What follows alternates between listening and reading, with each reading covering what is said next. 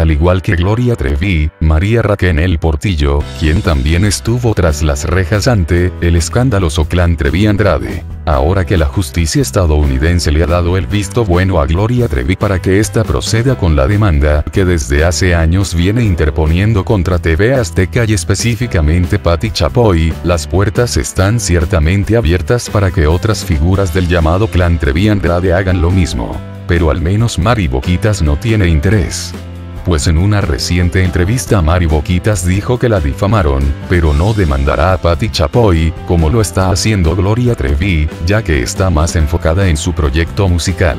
Tal parece que con esto Mari Boquitas deja claro que se encuentra envuelta en otros proyectos profesionales y prefiere enfocarse en ellos para sacarlos adelante en lugar de levantar y alimentar fantasmas del pasado. Cabe mencionar que entre los proyectos a los que se refiere la intérprete, destaca una canción que está promocionando y de la cual es coautora, Una nueva mujer. Cabe recordar que Mari Boquitas también estuvo involucrada con el llamado clan Trevi Andrade, y al igual que Trevi también estuvo en la cárcel por los delitos de violación agravada, rapto y corrupción de menores, tras ser extraditada de Brasil. Suscríbete para más videos.